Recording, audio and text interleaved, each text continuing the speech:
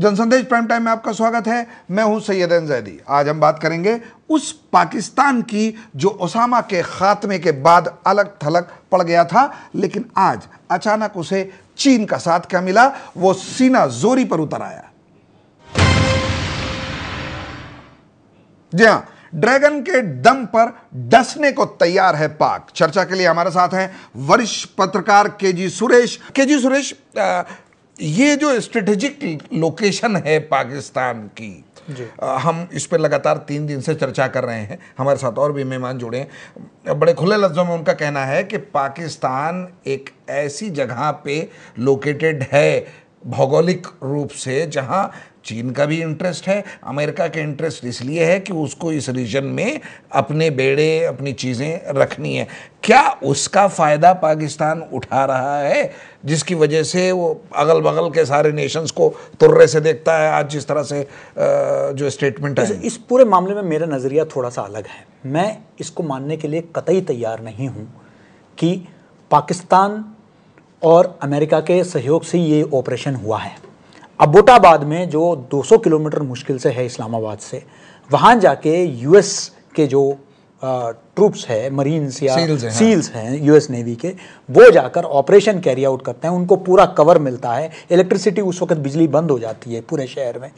पूरा कॉर्डन ऑफ़ हो जाता है वो एरिया सिर्फ़ पाकिस्तान ने इन दोनों में ये एग्रीमेंट था जहाँ तक मेरी समझ है कि क्योंकि एक दूसरे टर्म के लिए जैसे आनंद जी ने कहा ओबामा साहब का पॉपुलैरिटी सबसे लोवेस्ट में था तो वो चाहते थे कि उनका पॉपुलैरिटी दोबारा उठे और वो उठी वो उठी वो उठी। और उन्होंने पूरा यूएस को क्रेडिट लिया। दूसरी तरफ़ पाकिस्तान जो अपने स्थापना से लेकर ये सपना देख रहा है और दिखा रहा है दुनिया को कि पूरा इस्लामिक देशों का वो नेतृत्व तो करेगा वो अपने ऊपर ये धब्बा नहीं लेना चाहता था कि हमने क्योंकि कई मुल्कों में ओसामा को कई जो एक कट्टर सिंबल सिंबल मानते सिंबल मानते हैं कि ये इस्लामिक रिसर्जेंस का एक सिंबल है तो उनके कत्ल में पाकिस्तान अपना हाथ है इस चीज़ में कोई क्रेडिट नहीं लेना चाहता था। इन्होंने कह दिया कि आप इस ऑपरेशन को अपने तक रखिए हम तो कहीं नहीं है पिक्चर में। ये पूरा एक और ज़रूरत और ज़रूरत पड़ी तो हम मजम्मत भी करेंगे बिल्कुल। और साहब आपको पाकिस्तान और अमेरिका का हमेशा चलता रहा है। हम बेवकूफ़ बनते हैं कि जी हमारे तो अखबारों में सुर्खियाँ आ जाती है overnight Pakistan is US's enemy number one जो बिल्कुल नासमझी की बात है इकहत्तर में जब लड़ाई हुई थी उस वक्त भी आपने देखा सेवेंथ फ्लीट आ गई थी पाकिस्तान के बचाव के लिए। आती तो, है? हाँ बिल्कुल तो, तो बिल्कुल ये आपने जैसे कहा स्ट्रेटेजिक इंटरेस्ट इतने वॉलरेबल है अमेरिका के इंटरेस्ट हैं वहाँ इतने पूरा तेल जो आपका पूरा जो सेंट्रल एशिया का है उस पर जो है आपका स्ट्रेटेजिक आपका जो पैठ पाकिस्तान में होना ज़रूरी है। इतना बड़ा फोर्स मान स्टेशन है। अफ़गानिस्तान है उसके, इराक उसके, है। उसके अलावा तो, सुरेश जी पाकिस्तान के की जो स्किल्ड मैन पावर है वो ऑपरेट करती है इन गल्फ के रीजन में एयरफोर्स में और दूसरे इंपॉर्टेंट इंस्टॉलेशन पे। और, और वही इसलिए ये हमारी गलत फहमी है और हमारी बेवकूफ़ी होगी अगर हम ये समझें कि पाकिस्तान और अमेरिका में मतभेद हो गया है ऐसा कोई मतभेद नहीं हुआ। ये दुनिया को दिखाने के लिए ये नूरा कुश्ती है। ये नूरा कुश्ती है। और ये सांप भी मर जाए लाठी भी न टूटे करके बिल्कुल बिल्कुल। और जहाँ तक इनका जो आज स्टेटमेंट की आप बात कर रहे हैं ज़ाहिर है कि आपने भारत के सेनाध्यक्ष से आपने सवाल पूछा भारत की मीडिया ने। बहुत ही गैर जिम्मेदाराना सवाल पूछा गया था। और उन्होंने सिर्फ़ उन्होंने सवाल नहीं उन्होंने जवाब इतना ही दिया कि क्या आप क्षमता है? तो वो ये तो नहीं कह सकते कि क्षमता नहीं है। उन्होंने कहा क्षमता है। बस इतना ही उन्होंने कहा। उन्होंने ये नहीं कहा कि हम कैरी आउट करेंगे और आप देखेंगे आज के पूरे प्रेस कॉन्फ्रेंस में उन्होंने अमेरिका को कोई चेतावनी नहीं दी। उन्होंने कहा any other country particularly in our region आप शब्दों को देखिए।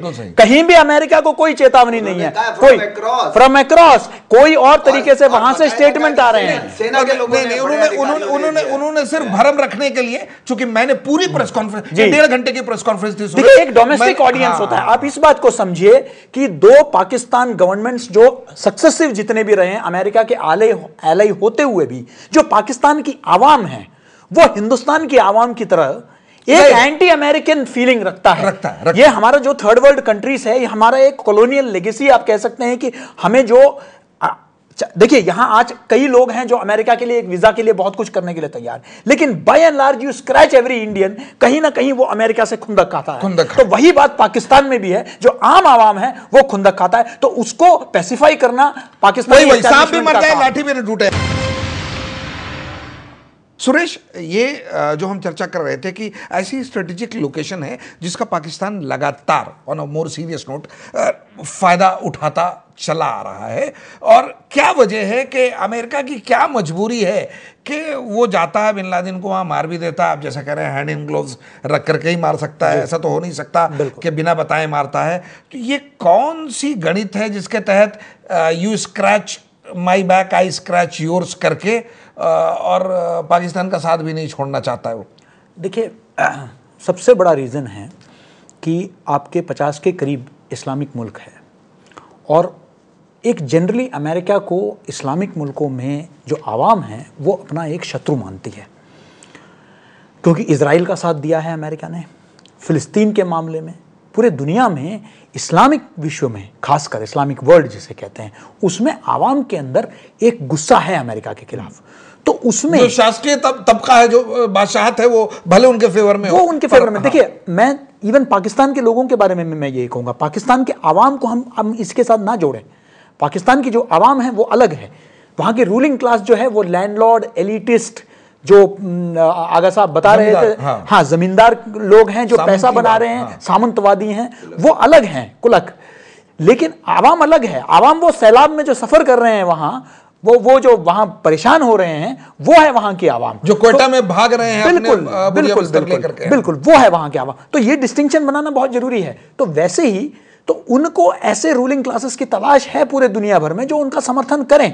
तो इसलिए आपने देखा क्योंकि हर जगह इवन जो इवन डेस्पॉट्स में जो वहाँ हैं गद्दाफी जैसे जो लोग हैं वो उनके दुश्मन हैं। तो ऐसे में अमेरिका चाहती है कि कुछ ऐसे मुल्क मिले जो उसको जो है इस्लामिक वर्ल्ड में भी अपना पैठ जमाने में मदद करें। और पाकिस्तान जो बेहतर और नहीं उससे बेहतर कोई एलाई उसको वो स्ट्रेटेजिकली लोकेटेड अफ़गानिस्तान के दरवाजे पर। ईरान के बगल में। चीन को भी अगर चाहे कल को तो काउंटर करने के लिए एक बेस मिल सकता है उनको। पूरा ऑयल जिस पर विश्व की पूरे अमेरिका की निगाह है पूरे सेंट्रल एशिया का जो ऑयल है उसका अगर सीधा कहीं इंसाइट मिलता है तो पाकिस्तान से मिलता है। इराक ईरान हर जगह से पूरी तरीके से एक एल आई है। बिल्कुल तो- और एक आम एक ऐसे है एक आर्मी एक आईएसआई जहाँ जनता का कंट्रोल नहीं है। बेसिक चीज़ वो है, वहाँ के तो ये तो अमेरिका को सबसे ज़्यादा सूट करता है। सबसे ज़्यादा सूट करता है और ये प्रूफ भी हुआ है अफ़गानिस्तान में से रूसियों को भगाने में अमेरिका इन्हीं मुजाहिदीन के वजह से कामयाब हुआ। एक चीज़ उसी से मुतालिक, अमेरिका की जो जो पॉलिसी है, बड़ी कंफ्यूजिंग सी है डिलिबरेट कंफ्यूजिंग कंफ्यूजन जिसको आप कहिए एक दिन पहले आप लीबिया में गद्दाफी के बेटे को मार देते हैं। निशाना गद्दाफी थे वो तो कोई टेररिस्ट नहीं है वो तो एक तानाशाह थे। सऊदी अरब में भी तानाशाह है जिनको आप सपोर्ट कर रहे हैं। बहरीन में भी तानाशाह है जिनके लिए आप टैंक भेज रहे हैं। उसके बेटे को मारते हैं दूसरे दिन बिन लादेन को आकर के मार देते हैं। तो ये ये कौन सी नीति है अ, अमेरिका की? जी क्या यही वजह है कि अमेरिका के खिलाफ जो है वो अ, ज़्यादातर लोगों के अंदर इंतशार है।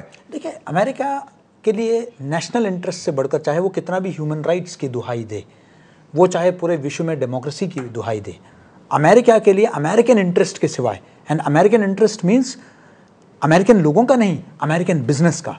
अमेरिकन बिज़नेस का अमेरिकन इकोनॉमी का इंटरेस्ट के सिवाय अमेरिका को कुछ नहीं दिखता है। तो जो भी उसका कदम है वो उसी दिशा में जो है आ, तो एक तरफ़ आप आप जानते हैं कि लिबिया में बेंगाजी में काफ़ी रिबल्स मज़बूत हो गए हैं और रिबल्स को यूएस का शय है और गद्दाफी के रहते हुए आपको वहाँ के तेल कुओं में कोई कब्जा नहीं होगा।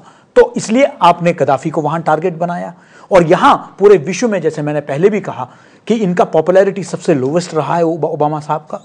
तो उन्होंने और ये चाहते थे कि यहाँ जो है इन्होंने क्योंकि देखिए अल कायदा पिछले कुछ सालों से इसमें दो राय नहीं कि शत्रु नंबर वन बना दिया था यूएस ने और सारा कुछ डिक्लेयर कर दिया था।